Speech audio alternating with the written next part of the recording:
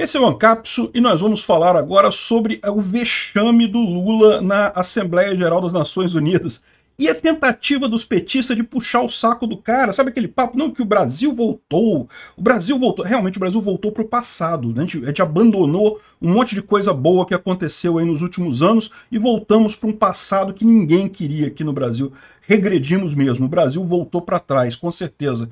Vamos falar sobre o discurso do Lula e sobre como o Metrópolis tentou dizer que ele foi aplaudido cinco vezes e coisa e tal, mas quando você vê a imagem, não tem ninguém aplaudindo Lula. É só a, a claque dele, que é o quê? É Argentina, uh, Bolívia, Equador, o pessoal da, da América Latina, sabe? Os vermelhinhos da América Latina, e o pessoal árabe lá, que também gosta dele por conta do negócio da Palestina é só meia dúzia de gente que está aplaudindo Lula, mas no Metrópolis está todo mundo aplaudindo Lula. Vamos entender esse assunto? Essa notícia foi sugerida por arroba Ancapsubot, né, o pessoal lá que sugeriu com o nosso Ancapsubot lá no Twitter. Agradeço a todo mundo que sugeriu as notícias, agradeço a você também que está assistindo o nosso vídeo. Se você gosta do nosso conteúdo, por favor, deixa o seu like e se inscreva aqui no canal, né? Pois bem, o discurso do Lula foi uma merda, não teve nada de relevante no final das contas, né? Foi aquela mesma baboseira de sempre, ele, ele com esse papo de o Brasil voltou, né? O Brasil voltou para trás, meu amigo. O Brasil piorou de novo, voltou mesmo muitos anos para trás, um atraso enorme essa eleição do molusco corrupto. Fora isso, ele teve um ponto positivo. Ele não falou de paz na Ucrânia e na Rússia. Pelo menos isso. O pessoal do Itamaraty deve ter brifado ele. Lula, cala a boca, não fala mais essa merda. Tu já falou tanta merda nesse sentido que não tem como consertar mais. Melhor ignorar a coisa, né?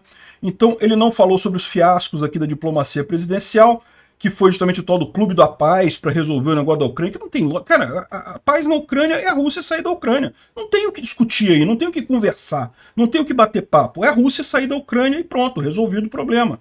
Né? E é, acabou com essa história. Não falou do tal do bispo nicaragüense, você sabe o amiguinho dele lá que segue a cartilha dele, né? É, o Daniel Ortega, lá na Nicarágua, que prendeu bispos da Igreja Católica acusando eles de fazer, fazerem oposição o, uh, um bispo que está preso, quando Lula visitou o Papa Francisco, o Papa Francisco pediu para ele falar com Ortega para liberar o bispo, o Lula nem é aí, nem, nem tocou no assunto, porque você sabe, o Lula ama ditadores, ele gosta de todos os ditadores do mundo, do Daniel Ortega, do Maduro, do é, Dias Canel, do Putin, da galera toda. O Lula ama uma ditadura, né? Aliás, eu estou aguardando até hoje a, o pedido de desculpas do pessoal que assinou aquela cartinha da democracia empurraram um ditador gente. A primeira coisa que o governo Lula fez em conluio com o STF foi tornar o principal adversário deles inelegível para a eleição. Típico do, do, Daniel Ortega, igualzinho o mesmo modus operandi dos ditadores latino-americanos de país de banana, né? Tornaram o principal adversário do Lula inelegível para a próxima eleição. Primeira coisa que eles fizeram a mais típica ditadura de bananas que tem no mundo foi o que eles fizeram aqui. Estou aguardando o pedido de desculpas do pessoal que assinou a cartinha da democracia, né?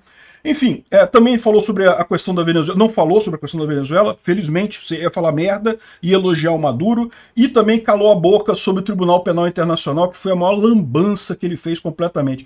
O pessoal da Cruzeiro brincou até de fazer um bingo aqui, porque, de novo, o Lula repetiu as mesmas ladainhas, que o Brasil tinha que entrar no Conselho de Segurança da ONU, e não sei o que lá, e que o Brasil voltou, e amor, governo do amor, e não sei o que lá.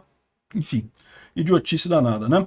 Falou sobre embargo embargo Cuba, cara, só socialista acredita nessa idiotice do Lula.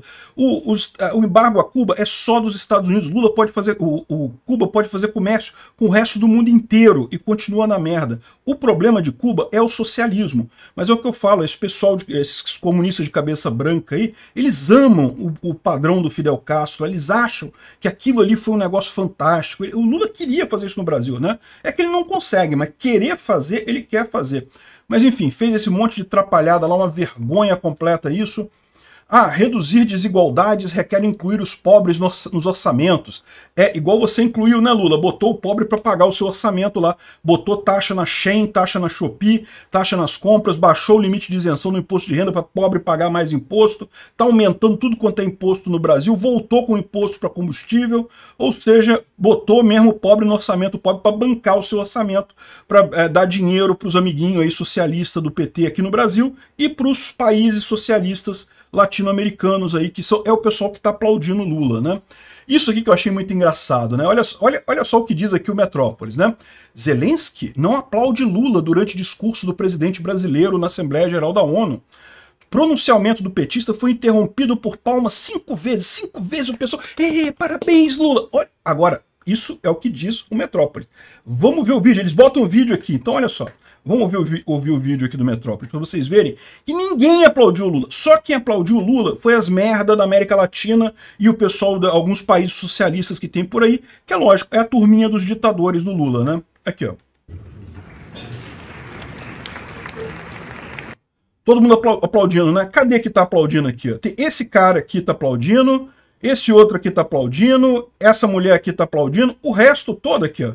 Ninguém está aplaudindo Lula. O, o, pessoal fala como se a Assembleia estivesse aplaudindo Lula e só o Zelensky não está aplaudindo. Não, ninguém está aplaudindo aqui. Você pode olhar essa turma toda aqui, ó, ninguém está aplaudindo aqui. Aqui também ninguém está aplaudindo. Só a galera mesmo, amiguinha do Lula. Só a galera de... Aqui, ó, é o cara aqui, a mulher aqui, pronto. O resto todo aqui, ó, ninguém aplaudindo. Aqui, de novo, você vê um monte de gente aqui, ninguém aplaudindo. Só a meia dúzia de amiguinho do Lula que fica aplaudindo ele por motivo óbvio, né? Tá esperando ganhar dinheiro, né? Sabe, acha que o Lula vai pegar o seu dinheiro para dar emprestado para eles pelo BNDES e a fundo perdido, né? E, e o Lula quer fazer isso mesmo, quer dar dinheiro para Argentina, quer dar dinheiro para Venezuela, quer dar dinheiro para Cuba. Cuba já falou que não vai pagar porra nenhuma do que tá devendo e quer mais dinheiro. Enfim, essa é a história aqui, ou seja, o Metrópolis querendo puxar o saco do Lula dizendo que ele foi aplaudido cinco vezes, ele mostrou aqui no vídeo que não, que ninguém aplaudiu o Lula, só a meia dúzia de, de baba-ovo dele lá, do socialista aí no mundo, né? Agora, por que, que eles ressaltaram o Zelensky? Eu vou explicar por quê. Tem um encontro marcado entre o Zelensky e o Lula amanhã, dia 20. E o Zelensky não confirmou ainda que vai, tá? O Lula já confirmou que marcou o encontro, o Zelensky não confirmou. Eu não sei se vai ter esse encontro ou não. Se tiver, eu não espero que saia nada daí, porque o Lula ama o Putin. O Lula, quando ele fala, ele fala até enrolado, porque as bolas do Putin na boca dele, entendeu? Ele fala também meio enrolado, pode reparar. Então, o Lula não vai fazer nada, não vai ceder nada, e lógico, o Zelensky também não vai abrir mão de nada nessa história, né? Então não vai dar em nada. Isso daqui é o que? O Metrópole já preparando para puxação de saco seguinte, para passação de pano seguinte. Quando o encontro do Zelensky com o Lula der errado, aí o Metrópolis vai falar, ah, mas é porque o Zelensky não gosta do Lula, olha só, o Zelensky foi o único que não aplaudiu o Lula durante o discurso do presidente. Não, ninguém estava aplaudindo o Lula, ninguém estava aplaudindo o Lula em lugar nenhum ali da Assembleia Geral, tirando a meia dúzia de, de país lambe-botas do Lula aí, que quer ganhar dinheiro em cima do Lula, né, que quer usar o Lula para tirar o meu dinheiro, tirar o seu dinheiro, ninguém aplaudiu o Lula. É uma vergonha completa o Lula nas, eh, nas Nações Unidas. Né? Enfim, então é isso. É por isso que eles apontaram diretamente o Zelensky aqui, embora vocês possam ver nesse vídeo, um monte de gente não está aplaudindo. Praticamente ninguém está aplaudindo o Lula nessa história apontaram isso por quê? Porque sabem que vai dar errado a reunião do Zelensky com Lula, não vai dar em nada, e aí já vão preparar para culpar o Zelensky, né? Eu acho engraçado isso porque os russetes adoram falar assim, não, porque o pessoal que é a favor da Ucrânia que lê a mídia tradicional e coisa e tal, quando não, a mídia tradicional toda é pró-Rússia aqui no Brasil, todo mundo, o Globo, Jovem Pan, CNN, toda a mídia tradicional no Brasil é pró-Rússia. E o Metrópolis, pô, não precisa nem dizer, né? Lambe tanto Lula que Nossa Senhora. Enfim, uh, essa é a história aqui, né? É, ninguém aplaudiu o Lula, vergonhoso o, o, discurso do Lula, né? Quem fez um bom discurso foi o Biden. Eu não gosto do Biden também não, tá? Mas o Biden fez um bom discurso. Ele viu o óbvio. O, o grande assunto do momento é a guerra da Ucrânia com a Rússia. Então, no final das contas, o que ele falou é que, olha só, é, a Rússia acredita que o mundo ficar, ficará cansado e permitirá que brutalize a Ucrânia sem consequências. Isso não vai acontecer. Se permitirmos que a Ucrânia seja dividida, a independência de qualquer nação estará segura? É o que eu falo sempre. No momento que o pessoal deixar, ah não, pode invadir, o país mais forte pode invadir o outro e ficar com o território. Ah, meu amigo, e aí? Acabou, né? Não vai ter paz nunca mais no mundo. É exatamente por isso que houve tanta guerra contra a Alemanha. O mesmo princípio. A Alemanha se achava toda bambambam, bam, bam, queria invadir um monte de gente, queria fazer a União Europeia à força, e, uh, e não pode aceitar isso, tem que ser de forma voluntária, coisa e tal, né? E ele terminou aqui ainda falando, olha só, só a Rússia é responsável por essa guerra, ponto. É, o, acabar essa guerra é fácil, é só a Rússia tirar os soldados dela do território da Ucrânia e acabou. Só a Rússia tem o poder de acabar com essa guerra imediatamente, foi o que ele completou. Então, gostei do discurso do Biden, não falou nada além disso, falou mais alguns detalhes de economia, política, mas nada significativo. Esse foi o ponto central do discurso dele, e é o que interessa para todo mundo. Esse é o grande tema geopolítico do mundo. O Lula fica querendo falar, ah, pedindo, pediu esmola, pediu esmola. Ela falou, não, e o dinheiro que vocês falaram que ia dar pra gente, não sei o que ela. Dá dinheiro, me dá dinheiro. Esse dinheiro que vai pra Zong não vai ajudar em nada o Brasil, não vai ajudar em nada o brasileiro, só a Zong. Mas ele ficou lá pedindo, chorando lá, pedindo dinheiro. Eu, eu tenho uma vergonha tão grande dessa, desse status de país pedinte que a gente virou, que puta que pariu.